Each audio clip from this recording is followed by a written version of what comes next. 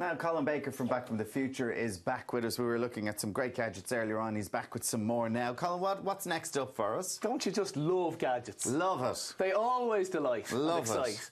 But this is the Screenplay DX from Iomega. Now, what this does essentially, and we've all seen multimedia hard drives before, there's a one terabyte hard drive in there. So, an absolute Gansy load of space for videos and music and photos and the likes. But there's something a little bit more special about this one. This turns your TV into a computer essentially. It has a wireless dongle with it, so it connects into your wireless broadband and it allows you to access popular sites like YouTube, Facebook, Twitter, and, and, and the internet in So general. instead of having a laptop in your house and Yeah, watching or the television, you, the TV you, or you whatever. do it all on the That's TV. a nice little neat box that plugs straight into the back of the TV, connects to your network, and through this little wireless remote allows you to access not only the footage and the, the music and the photos and the videos that you've stored on here, either through your network, saved from your computer or saved from your from, from your TV, but also the internet as well. So essentially, it turns your TV into a computer. or Would you be able to type portal. and do all stuff Absolutely, like that? straight from this little keyboard. Wow, okay. That's only 249 euro. And of course, with people with you know, 42 inch, very, very large screen TVs. So you'd be sitting there on your hmm. sofa, sending emails, all on the larger screen. so you'd watching be us on telly, watching you so on you telly. could have a little bit in the corner of that. Exactly, and then switching across to tweet Very about good. you or whatever it might Very be, good. all through this. So essentially, great little product for 249 euro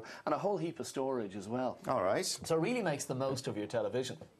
Now, what a lot of people have been asking about sort of desktops lately, because they've been largely replaced by laptops. But what if you want something, a piece of furniture, a large screen computer with more storage, more speed, more power? A desktop is the only way to go, particularly if you're into gaming or editing videos or anything that's particularly feature rich. Now, this is the latest Lenovo touchscreen. Lenovo is, of course, the new name for IBM. It's, a, it's like a bloody big iPad. It's, it's a t- multi-touch screen. So as we, we can actually use it just by tapping on the screen here. We can also, it's got a multi-touch like we're used to on the iProducts and the smartphones. So we can zoom in by pinching and we can also rotate by just moving around like that.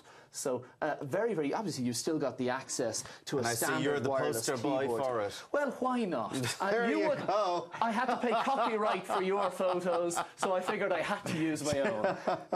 But very, very nice uh, setup. And again, a terabyte of storage, Core i3 process. This kind of machine, by the way, people often ask the difference between this and a laptop. Much more powerful. So if you are doing f- pretty uh, heavy uh, programs, editing videos, playing games, the uh, desktop like this is the only way to go. It's 699 euro, so not overly expensive. That's a 22 inch screen, has a TV built into it as well. So it really is a, a centre of entertainment. Okay, great stuff. Yeah. Unfortunately, we've no time to get to anything else. Always the way. always the way.